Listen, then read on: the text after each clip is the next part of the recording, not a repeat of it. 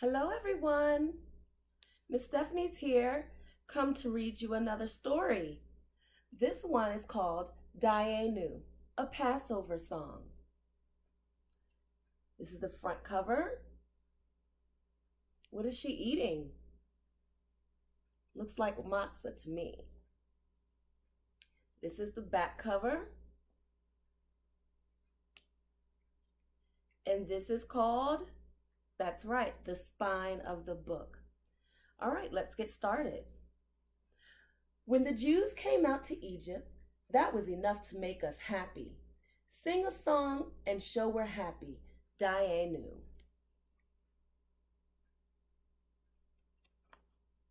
And I know this part goes.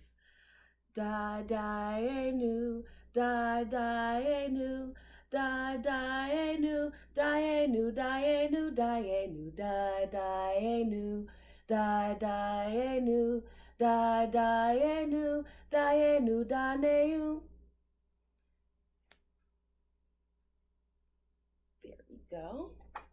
It says, when the Jews received the Torah, that was enough to make us happy.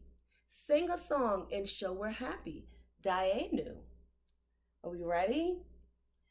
Da da enu, da da enu, da da enu, da enu, da enu, da enu, da da enu, da da enu, da da enu, da enu, da enu. When the Jews returned to Israel, that was enough to make us happy sing a song and show we're happy. Dayenu. They're all very happy.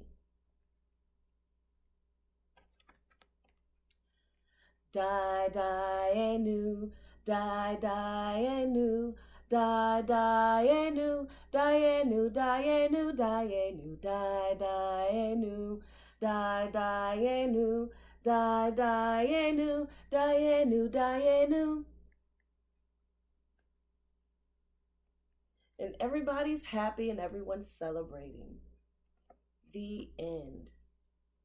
I hope you enjoyed this story, and I hope you guys have a wonderful Passover. See you next time.